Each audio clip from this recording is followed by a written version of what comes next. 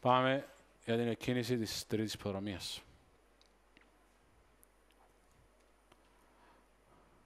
Έχει δοθεί εκκίνηση. Γλυκός Λεωνίδας καθυστερεί γύρω στα 2-3 μήκη. Ο Βίκτορ Ρέιντι λίγο πίσω.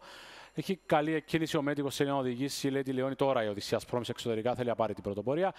Και θα πάρει την πρωτοπορία στα 2-3 μήκη από τη Λέτη Λεόνι και το Βυζαντινό Θρύλο. Ο Μέτικος, ο Βίκτορ Ρέιντ βελτιώνει θέση. Μάρπο Λάρτς και Γλυκός Λεωνίδας που βελτίωσε και αυτό στην uh, θέση του με την Οδύσσια Πρόμη σε αργό ρυθμό. Ο Μέτικος βρίσκεται εσωτερική και θέλει να είναι κοντά στην Οδύσσια Πρόμη ενώ απ' έξω τώρα βελτιώνει θέση αμέσως και ο Βίκτορ Ρέιντ που περνά uh, δίπλα σχεδόν από την Οδύσσια Πρόμη που είναι στο 1,5 μήκος τώρα.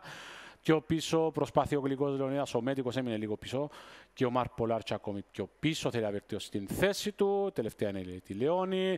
Με την Οδύσσιας Πρόμης να είναι μπροστά στο 1,5 μήκος από τον Βίκτορετ. Πιο πίσω είναι ο Γλυκός Λεωνίδας, ο Μέτικος και ο Μαρ Λάρτς. Στη στροφή, ο Οδυσσίας Πρόμης στην πρωτοπορία.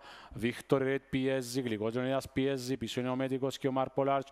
Ο Οδυσσίας Πρόμης, ο Βίκτορετ τώρα πλησιάζει όμως και είναι σε αποστασία αναπνοής. Ετοιμάζεται να περάσει ο Βίκτορετ και είναι δυνατός και περνά. Βίκτορετ στην πρωτοπορία.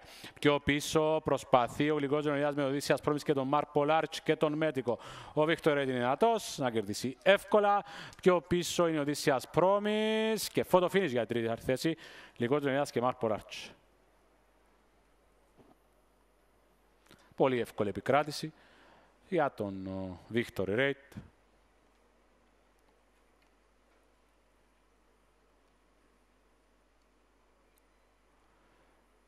Θα κερδίσει εύκολα ο Οδύσσιας Πρόμης στη δεύτερη θέση. Και ο πίσω ο Λιγό Λεωνίδας Μάρκ Ποράρτς για τη φωτο... τρίτη θέση σε φωτοφίνη.